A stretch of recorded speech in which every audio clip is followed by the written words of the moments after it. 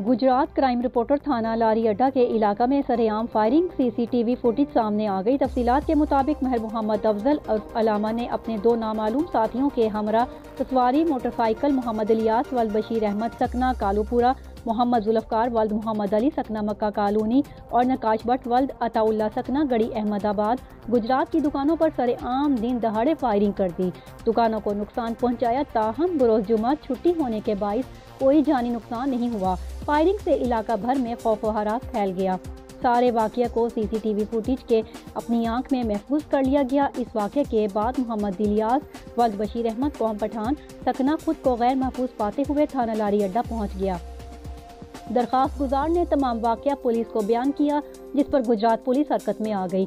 थाना लारी अड्डा ने सी बटा एक पाँच दो एक के तहत एफ़ आई आर दर्ज कर ली और कानूनी कार्रवाई शुरू कर दी।